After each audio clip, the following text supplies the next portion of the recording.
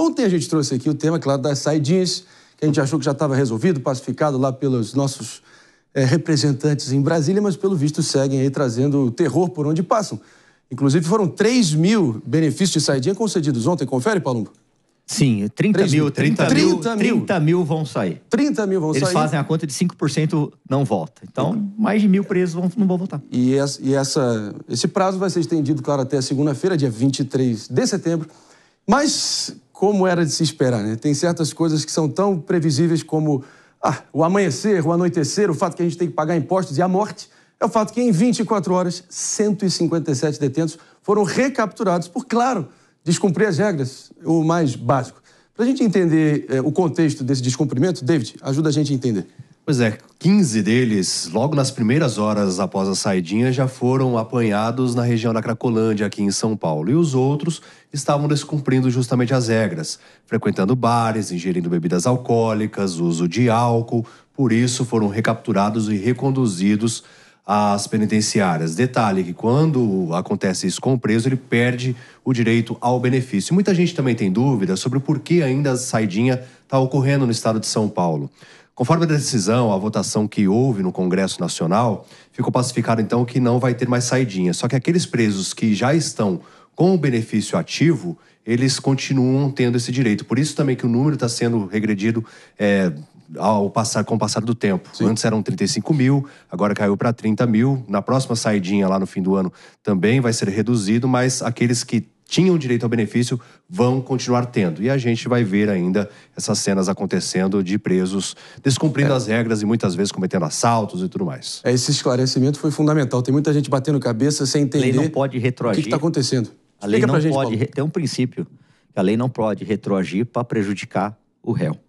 Então, é. daí a explicação do David Tarso. Mas eu tenho que certeza que isso aí vai diminuindo, vai diminuindo cada vez mais até cessar de vez. Mano? É, e aí tem uma interpretação até que a nova regra da saidinha só valeria para os crimes cometidos a partir da aprovação. Ou seja, mesmo pessoas que eventualmente ainda venham a ser presas agora, mas por crimes cometidos antes da aprovação da lei, podem acabar, por entendimento é, da jurisprudência, sendo beneficiados Eu ainda. Eu já não concordo com o Poder Judiciário. Porque a saidinha está lá no, na lei de execuções penais. Ela, a saidinha, a progressão de regime. E não tem nada a ver com a lei penal. Então, eu não concordo com isso. O juiz pode muito bem mantê-lo preso. Jess, te surpreende esses 157 infratores nem um pouco, nem um pouco. Até são 157 que foram pegos, né? Quantos é. descumpriram e não foram pegos? E aí vem o nosso maior problema, né? Pesquisa indicou, ontem eu estava lendo sobre isso, André, por causa da nossa discussão, 15 mil. 15 mil é o número de pessoas que saíram em saidinhas temporárias e não retornaram aos presídios e podem estar tá aí perto da sua vizinhança, ali onde você frequenta no restaurante, podem estar tá por todos os lugares que estão foragidos. Então é um absurdo isso, é um absurdo que a gente permita isso. E esse esse número não me surpreende. Agora, o que me surpreende muito é que tem gente que ainda defende, no cenário brasileiro, a saidinha. É, é beiro inacreditável. Claro que todos eles, que já, é o que eu sempre digo, né? É tão simples quanto o fato de que já são criminosos, condenados, já estão detidos, recebem esse tipo de, de benefício extremamente generoso do sistema prisional e penal brasileiro. Então, é obviamente que o grau de cobrança para eles tentarem ficar, no mínimo, seguir à risca os cumprimentos, deveria ser redobrado, triplicado, deveria ser de total intransigência. Ainda bem que pelo menos 157 foram, enfim, recapturados, mas que haja também uma punição de acordo, né, Palumbo?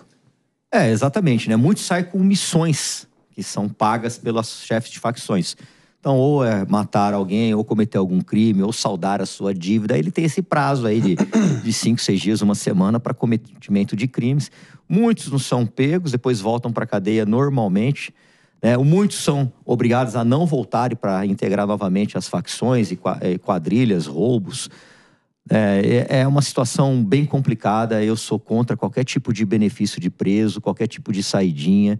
Eu acho que a gente tem livre-arbítrio. Se alguém cometer qualquer ato aqui errado, que pague por isso. E não venha culpar a sociedade por causa dos seus atos. Conta oh, pra gente, Felipe... David, essa, essa, risada que eu ouvi aqui. Qual foi? Não, o Felipe Monteiro tá acompanhando o programa, ele que tá sem voz, né? Por isso Vou dar uma parombada nele aqui. então por aqui. Tá de ressaca com a gente casa, hoje. Ele, ele pegou assim, uma saidinha temporária do Ele falou Show. assim: você tá no meu lugar, então você tem que falar. Eles foram pegos por questões administrativas, bebendo no bar E além de frequentar prostíbulos, não porque cometeram crimes.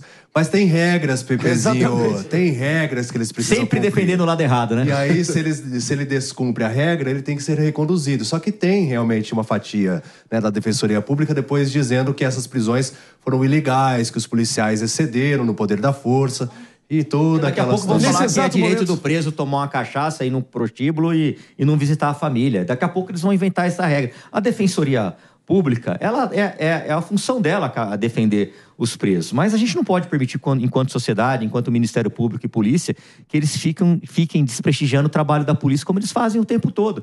Se tá lá, o juiz deu uma determinação, não frequente bares, volte para casa antes das 10, não beba bebidas alcoólicas. Se o cara faz isso, ele tem que voltar para cadeia. Nesse exato momento, eu imagino que o nosso Pepezinho está ali no seu sofá king size, olhando sua TV de plasma, com uma cartela de dipirona, um coquetel anti-ressaca, tomando sua, Na seu sua balde de café. ali em Perdizes. Não, sabe o que ele falou? E, Ele tá, falou e assim, socando a tela da TV. ele falou assim, vocês estão me deixando mais doente ainda. Não, não, não. Você Doente. sabe.